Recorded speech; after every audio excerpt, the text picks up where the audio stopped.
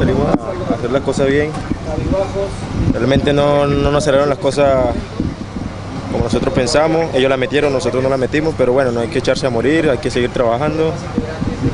Y nada, eh, ya pensar en el próximo partido. ¿Y la expulsión producto de que de la impotencia, producto de, de que todas las cosas salieron mal hoy? No, realmente hubo una jugada que, que yo realmente saco el brazo, pero en ningún momento lo golpeo. El, el árbitro ve una, una cuestión que, que- que no es, se, lle- se deja llevar por la gente de afuera y por los jugadores que están dentro de, de Alianza.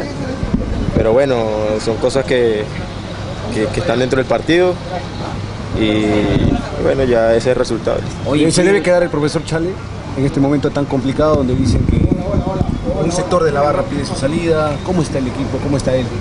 El equipo está tranquilo, que no han salido do- las cosas en, en pocos partidos, el equipo está tranquilo. ¿Y por qué la salida del profe?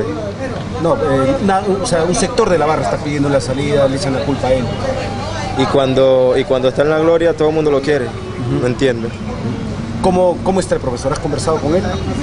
Estamos tranquilos todos, si, si- si no, si no, tenemos que ocuparnos, tenemos que ocuparnos de lo que, lo que realmente eh, lo es resultado, pero no hay que echarse a morir, que seguir trabajando. Guastavino pidió disculpas a la hinchada por este resultado.